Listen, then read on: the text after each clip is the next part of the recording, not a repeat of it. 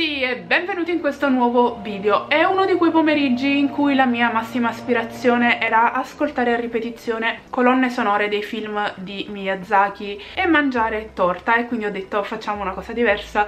Togliamoci da questa depressione incipiente e giriamo un video. O mi preparo con voi. Ovviamente appena ho detto questa cosa è anche arrivato il tizio che spazza via le foglie. Quindi se sentite un certo rumore è l'uomo delle foglie, l'uomo del mistero che appare quando io comincio a girare video, non ci fate caso. Ma non perdiamoci in chiacchiere inutili e cominciamo questa preparazione super simple, come al solito ragazzi, una delle mie preparazioni super veloci, super niente di che, per passare un po' di tempo insieme. E cominciamo con questo che già vi avevo fatto vedere, che è il prodotto che uso come base per il viso in questo momento, che è profondamente un idratante colorato di Laura Mercier, eccolo qui, e che vado ad applicare proprio proprio come una crema in realtà idratante più che come un fondotinta con le dita così proprio in maniera extra extra extra brutale ed extra extra extra barbarica. Comunque ragazzi io vi giuro io questo tizio delle foglie no che viene a fare le foglie come io comincio a girare i video io me lo immagino nascosto come uno stalker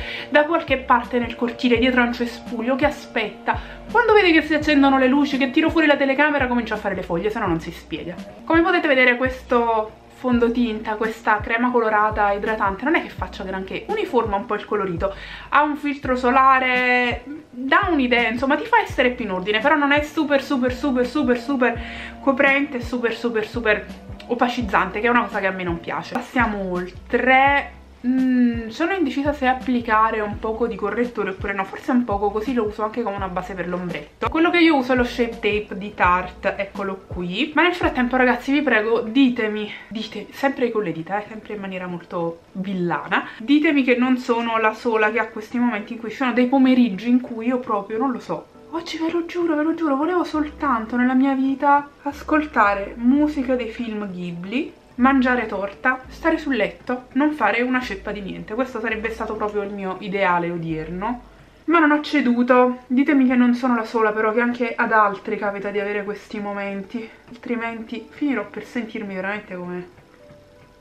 Vi devo dire che tra l'altro, vabbè, l'avevo già detto, questo periodo in generale, questi mesi sono stati un po', un po' complessi per me perché ci sono tante cose in ballo, tante cose che che stanno andando avanti, che stanno cambiando, idee, decisioni da prendere, cose, cose nuove e quindi è un periodo un po' così, è un periodo un po' sbattuto e non lo so, è stato, è stato un po' difficile, è ancora un po' difficile, è un periodo ancora in corso un po', un po' così. E poi c'è la cosa per cui per me gennaio e febbraio sono dei mesi in cui proprio L'energia è un po' più bassa di quanto non sia di solito. Un po' penso che sia una cosa generalizzata, perché in fin dei conti, per esempio, a gennaio c'è anche il giorno più depresso dell'anno, no? Quindi forse è anche il fatto che dopo le feste di Natale per tutti, per tutti, per tutti è un periodo un po' così. Per me è sempre un mese che è sospeso tra l'inverno e l'inizio della primavera, nel senso che anche se comunque fa ancora freddo e ancora inverno, inverno, inverno, nel mio cervello cominciano ad accendersi delle lucine che dicono primavera, primavera, primavera, primavera, primavera, primavera e quindi c'è questa specie di, di cosa dentro di me per cui il mio intero essere comincia a proiettarsi verso la primavera e l'aspetta. E anche se ci vorrà ancora un po' prima che la primavera arrivi davvero non fa niente, io comincio già ad aspettarla proprio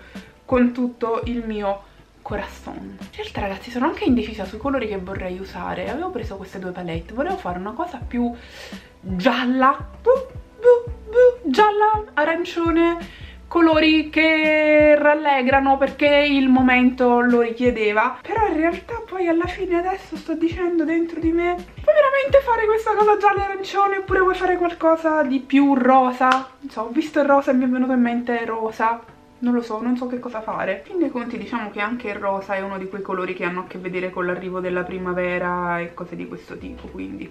Alright! Ditemi com'è stato anche per voi questo periodo, se è stato un periodo un po' complesso come è stato per me o se invece state avendo un fantastico periodo, cosa che io mi auguro, raccontatemelo. E poi sono curiosa anche di sapere se anche a voi quando stare... Allora, dovete sapere che la primavera è la mia stagione preferita. In realtà lo sono anche l'autunno e l'inverno, l'estate è l'unica stagione che non mi fa impazzire, però la primavera è proprio la mia stagione, ecco, mettiamo in questi termini questa cosa e quindi quando sta arrivando io veramente comincio a sentire dei campanellini nel mio cervello che che iniziano a suonare dicono primavera sta arrivando, primavera sta arrivando, primavera sta arrivando e dentro di me è come se ci fosse una sorta di totale sconvolgimento in attesa della primavera che mi fa avere questi momenti in cui non vorrei fare nient'altro al di là del dormire o andare a fare almeno delle passeggiate fuori invece di stare a lavorare, cose di questo genere. Ma comunque in generale ragazzi comincio a sentire questa sorta di nostalgia, di, di, sentimento del ritorno, del ritorno della primavera, che lo so, è una cosa strana, forse non riesco neanche a spiegare esattamente che cosa vuol dire, però vabbè, fidatevi, fidatevi sulla parola. Vado ad aggiungere un altro poco poco di rosa, perché sì ragazzi, un'altra sfumatura, questa è una sfumatura un po' più spenta, però secondo me ci sta bene insieme, perché no? Bisogna mescolare le cose, bisogna fare qualcosa di che porta fuori dalla propria comfort zone. E anche se alla fine è una mess non importa perché comunque quando arriva la primavera bisogna rischiare anche con l'ombretto. Oh, altra domanda per voi da 100 milioni di dollari c'è in questo momento qualche... siccome in genere su questo canale sapete ragazzi io sono appassionata di storie misteriose, storie strane e quindi spesso e volentieri parliamo di storie strane sia quando facciamo video di trucco, sia quando facciamo mukbang, sia insomma più o meno sempre. Su questo canale ci sono sempre storie un po' strane. Mi chiedevo se ci fosse qualche storia bizzarra che in questo periodo vi ha affascinato di più o non so, magari se c'è qualche storia particolare che avete sentito raccontare anche su altri social perché in questo momento vanno molto anche le storie virali paranormali su TikTok e cose del genere se c'è qualche storia paranormale che vi ha colpito e che avete sentito in giro, raccontatemela perché sono curiosa. Voglio sapere quali sono le storie che in questo momento, le storie che vi prendono di più, le storie che vi piacciono di più. Vi avevo raccontato in un video dove mi truccavo con voi precedente del fantasma nel mio salotto in questa casa, sapete, insomma ve l'ho detto. Secondo me c'è non tanto un fantasma legato alla casa, ma un fantasma legato a un oggetto che ho comprato in un negozio che vendeva oggetti usati e, mm, e c'era secondo me qualcosa di attaccato a questo oggetto che avevo comprato c'era questa mh, mm, questa sorta di presenza secondo me che c'era in questa casa, in questo salotto legato a questo oggetto che per un certo periodo di tempo, più del solito, si stava facendo sentire, si è fatta sentire più di quanto non si facesse sentire in precedenza, chissà per quale motivo. In realtà questa è una cosa che sarebbe interessante anche magari scoprire, capire qual è stato il motivo che ha spinto questa, questa, questo fantasma, questa, questa presenza a farsi sentire di più nell'ultimo periodo? E poi invece ragazzi adesso da un po' si è di nuovo calmato tutto come era, com era calmo prima. Quindi questo fantasmino legato al paralume che vedo lì di fronte a me ma che voi non potete vedere sembra essersi calmato perché c'è stato questo momento in cui accendeva, spegneva luci, faceva cose, sparivano delle cose però poi si è si è calmato. Quindi mi è rimasta questa idea non so del sapere quale fosse stato um, il motivo che aveva spinto questa presenza a farsi sentire di più. Tra l'altro ve l'ho sempre detto in maniera simpatica non in maniera aggressiva non in maniera fastidiosa. E non lo so all'improvviso mi sono chiesta chissà se tutta questa cosa non abbia a che vedere magari proprio con il fatto che sia stato un periodo un po' sbattuto un periodo un po' di agitazione, cambiamenti, turbamenti e cose di questo genere. E magari questa, questo fantasmino legato a questo paralume che abita nella mia casa si è fatto sentire quasi come per dare un, un segno di... Facendosi vedere un segno di, di presenza, di compagnia, di, di, affetto, un segno positivo, come a dire ci sono, non, non lo so, non abbatterci, ho, ci ho pensato, mi sono detta chissà, forse era una cosa più di questo tipo, no? È, è interessante, è una bella cosa alla fine. Ora, essendo stata io ad applicare questo eyeliner bianco se vi interessa sapere che eyeliner fosse era quello di Kat Von D che adesso non si chiama più Kat Von D perché lei ha lasciato andare la sua linea cosmetica quindi non ho idea di come si chiami esattamente ma si chiamerà sempre qualcosa del genere. Dicevo essendo stata io a metterlo ovviamente ho fatto un casino ragazzi perché io se metto l'eyeliner cioè un casino devo fare, non è possibile altrimenti, è da contratto, è proprio da contratto, ma chi se ne frega ragazzi, cioè secondo me uno non deve essere necessariamente bravo per truccarsi o fare qualunque cosa. Uno deve fare quello che gli va. Poi se magari il risultato non è perfetto cioè sapete quando è che uno deve essere perfetto? deve essere perfetto quando vuole insegnare qualcosa agli altri. Se tu non vuoi insegnare niente a nessuno vuoi farlo semplicemente perché ti piace perché ti diverte no? secondo me chi se ne frega se non lo sai fare? Non ci sono neanche regole alla fine. Spesso sento dire nel trucco ci sono cose che si fanno cose non, che non si fanno. Ok posto che magari ci possono essere delle cose che ti fanno sembrare più vecchia ci possono essere delle cose che ti fanno sembrare più giovane e, e magari quelle sono cose da rispettare perché si prestano a far stare meglio o peggio il tuo viso. Al di là di quello secondo me in realtà non esistono delle regole. Le regole sono divertirsi, fare qualcosa che ti faccia stare bene, fare qualcosa che, che, cioè, quando ti guardi allo specchio ti faccia sentire che ti piaci. Poi, se questa cosa che ti fa sentire che ti piaci è avere uno scippo arancione su una guancia e una cosa, un cuore enorme disegnato sull'altra guancia, o se è un trucco super raffinato così, è la stessa cosa, va benissimo. Fin tanto che tu fai quello che ti piace, fai quello che ti fa star bene e te ne freghi di quello che poi magari gli altri pensano, di come ti trucchi, di come fai fai, di come ti dici, va tutto bene. Quindi secondo me nel make up non ci sono regole, a meno che tu non stia cercando di insegnarlo da un punto di vista tecnico in una scuola di truccatori, ma quella è un'altra cosa. Chi si vuole truccare così perché semplicemente gli piace può fare quel caspita che gli pare e quando uno parla di, di, di, regole, fatto male, fatto bene, è una grande cavolata, secondo me io non ci credo. Detto ciò, non mi ricordo se ve l'avevo detto, ho usato questo mascara di Anastasia Beverly Hills per le sopracciglia che è nella taglia piccola che come vi ho detto io amo, io adoro i prodotti in taglia piccola perché finalmente così si possono smaltire, non li devi tenere per 2000 anni, specialmente se ti trucchi poco. Ah, non sono prodotti che ti restano in canna per l'eternità. E poi mi vado a mettere un po' di mascara e questo è quello di Tarte, che ve l'ho già detto in passato ragazzi, non è esattamente il mio mascara preferito nell'universo, però siccome ce l'ho non lo farò certamente andare precato quindi lo uso. Oddio, non è malissimo, quando era liquido mi piaceva di meno. Ora che si è seccato un po' di più, secondo me va meglio, però comunque ce ne sono di migliori in giro. In realtà non, non ho capito la fascinazione per questa mascara, se devo essere onesta al 100%, ma vabbè. Poi anche questo, i prodotti in realtà alla fine sono tutti quanti una roba personale Altra grande storia di imperfezione quando hai un eyeliner bianco e ti metti il mascara è mm, che stai a vedere, stai a vedere, non importa cosa tu farai, se sei una pasticciona come me, finirai sempre per macchiarti l'eyeliner con il mascara. Comunque tornando alla storia delle attività paranormali legate a quel paralume che vi ho raccontato in un video precedente, che vi dicevo adesso si sono improvvisamente così fermate dopo un momento di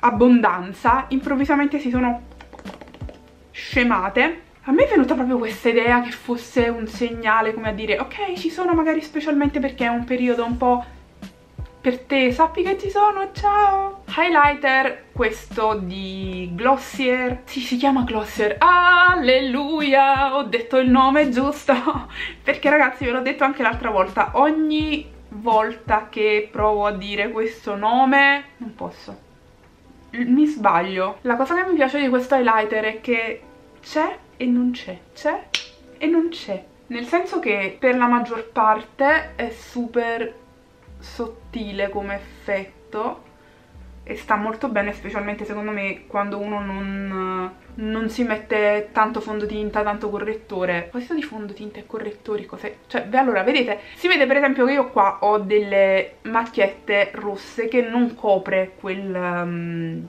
completamente quel prodotto che io ho messo prima. Ma a me francamente non interessa perché comunque mi piace questo genere di, di effetto meno coprente. Quindi anche se magari io ho la pelle molto chiara facilmente per qualunque cosa tende a comparire una chiazzetta rossa ogni tanto, mi si arrossano le guance, se c'è un po' di freddo per qualsivoglia motivo, però mm, per me non è un problema, non mi sento a disagio quando succede, quindi non, non sento la necessità necessariamente di andare a coprire tutto, quindi alright, anche se qua si vede il rosso alla fine adesso non, non fa niente non sento comunque la necessità di andarlo a coprire con, con un mare di fondotinta correttore. Poi sta macchia rossa in realtà adesso da dove è venuta, da dove sarà apparsa? Che cosa l'avrà generata, mistero. E avendo deciso questa macchia di comparire sul mio viso proprio adesso in una zona estremamente inopportuna cioè qua forse non c'era neanche bisogno di mettere il blush però comunque sto mettendo un pizzichino pizzichino pizzichino di questo blush in crema sempre di Glossier. Ve lo faccio vedere eccolo qua.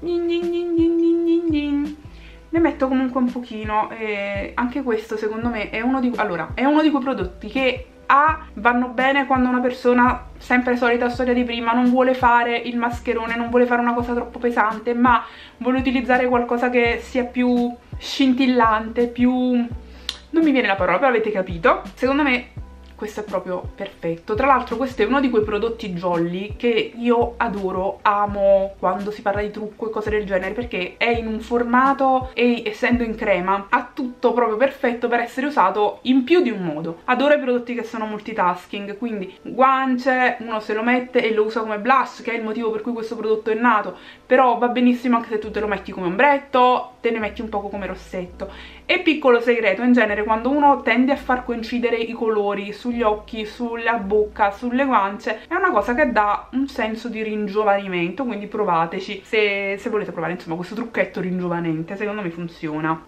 Eh, qua improvvisamente è apparsa questa chiazza rossa. Mi avrà morso la zanzara fantasma. Molto possibile. In questa casa può succedere di tutto. Tra l'altro poi prima o poi ragazzi vi racconterò delle altre vabbè questa storia del paralume insomma era una cosa piccolina però vi racconterò di tante altre storie insomma di, di fantasmi perché io sono proprio vissuta in, in case che che erano abbastanza infestate, quindi sono delle, ci sono tante storie da raccontare a questo proposito, fatemi sapere se vi interesserebbe ascoltarle. Allora, adesso ragazzi io come al solito arrivo a un punto in cui mi dico sono in dubbio su quello che voglio mettere sulle labbra. Sono in dubbio perché in realtà ci sono un po' di opzioni che sto considerando. Un'opzione è utilizzare lo stesso prodotto che ho messo sulle guance, un po' sulle labbra. Un'altra opzione, cioè mettere questo anche qui Un'altra opzione è utilizzare un gloss trasparente sempre di Glossier che è super super super super glossy trasparente però non lo so. Un'altra opzione potrebbe essere utilizzare questo prodotto che è molto leggero ed è un prodotto coreano. In questa confezione è molto molto carina che ricorda una marmellatina una cosa del genere. Oppure utilizzare, cambiare. Invece di utilizzare, siccome non ho utilizzato cose opache opache opache opache su tutto il resto del viso mettere un rossetto opaco quindi potrei utilizzare questo. Voi che cosa utilizzereste?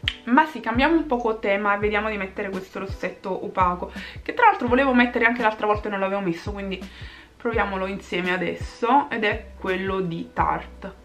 99% delle volte quando mi vedete truccare sulle labbra ma in generale vedrete utilizzarmi colori che non sono matte, che non sono super matte. E è raro proprio che io finisca per utilizzare dei colori matte. Però in questo caso ve l'avevo detto questo prodotto mi era piaciuto molto. Era uscito da un set natalizio è di Tarte. Nell'insieme ora chiazza rossa qui un po' qui anche si sta facendo a parte tipo pimpa non fa schifo non fa schifo e insomma ragazzi il risultato di questo prepariamoci insieme super veloce oggi, veramente super improvvisato, super veloce è questo. Fatemi sapere se secondo voi l'ombretto rosa è carino oppure no, ma d'altra parte ragazzi lo ripeto, ve l'ho detto prima, secondo me in generale quando uno si trucca, in questo caso per me, per tutti, a volte anche a me in un canale capita capi, capitato insomma che ci fossero persone che scrivono vabbè tanto quelli che ti scrivono cose tipo fai schifo non li calcolo proprio perché già se tu stai scrivendo a un'altra persona che neanche conosci in realtà fai schifo per come si è truccata o per qualche motivo del genere il problema è tuo, non è di quella persona.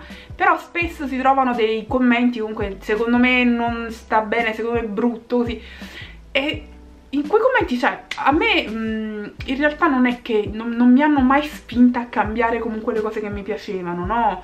Uh, perché proprio come vi dicevo prima, secondo me la cosa fondamentale del trucco, del make up, è che devi piacerti tu. Quindi se tu ti piaci, certo è una conferma se qualcuno ti dice stai bene oppure no, però in definitiva secondo me la cosa fondamentale, ma in tutte le cose della vita, è essere veramente padroni di quello che ci piace, no? E farlo anche se magari agli altri fa schifo, tipo se 30 persone ti guardano e ti dicono il tuo eyeliner fa schifo ma a te piace, fregatene di quelle 30 persone continua a fare il tuo eyeliner, anche se poi il resto del mondo fa schifo. Vabbè. Che discorsi filosofici ragazzi in questo pomeriggio che proprio è un po' così. Io vi ringrazio per essere stati con me, mi fermo qui, vi do appuntamento al prossimo video e grazie, grazie, grazie un milione per essere stati con moi. Ciao!